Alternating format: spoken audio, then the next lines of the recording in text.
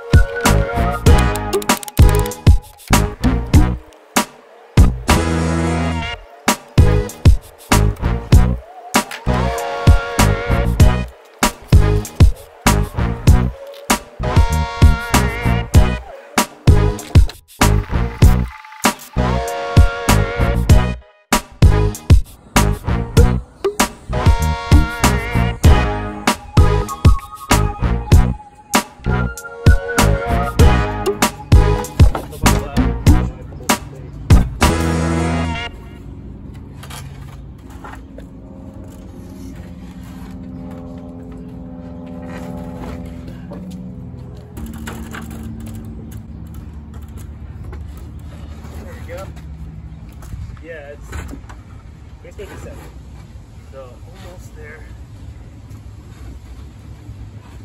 Okay, hold it. Yeah, I got it. Uh, okay, it's close. Back here, so I got some work to do. Closer. All right, I think. Very cool. Here,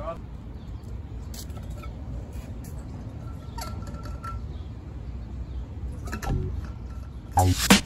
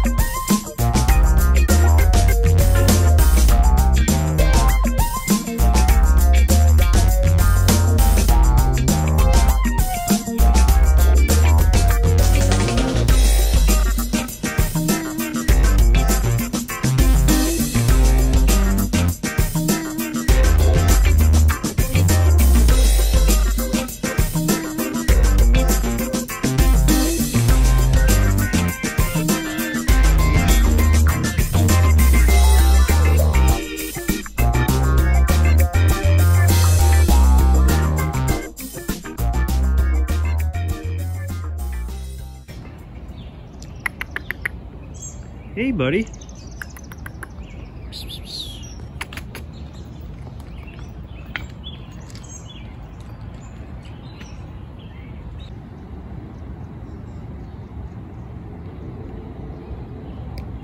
I wonder where she went. Anybody seen the kitty cat? She's quiet. Nobody can see me.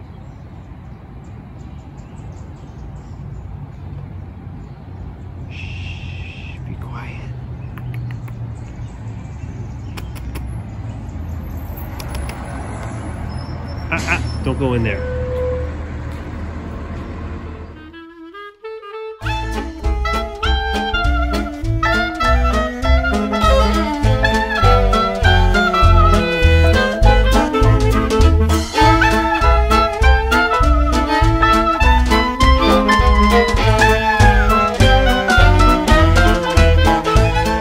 A pretty good day. I wasn't planning on putting in the shed today, but it had to get done. It was just in the way. It was all parts over here, parts in my shop, and just wood laying around everywhere. A lot, a lot better. And now I just gotta do the face and the entry door, and this thing will be pretty much done. Not sure where I'm gonna put it yet, but I have some time to decide. It's a little tall too, so maybe I'll put some some shelves up on the top. I don't know. We'll figure something out. This is really for rakes, shovels, stuff like that. Hang a wheelbarrow up on the wall. Can't have too much storage space, that's for sure.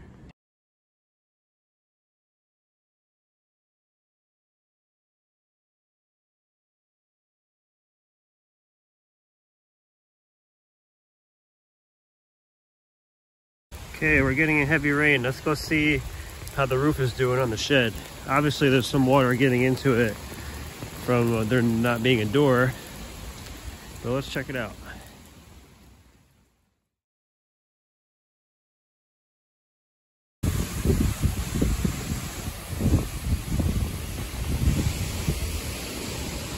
Okay, we're about to get a big storm coming soon. I'm gonna make this video two or three parts about this shed. It's uh, the first video, I'm gonna conclude that here. And the next video will be putting the door in and some uh, some kind of a shelving storage system for all the hand tools, etc. Probably just a part two, maybe a part three, but I think a part two is uh, more than generous for this shed. Okay, I need to get ready for this rain. Maybe I'll come out and see how the shed holds up.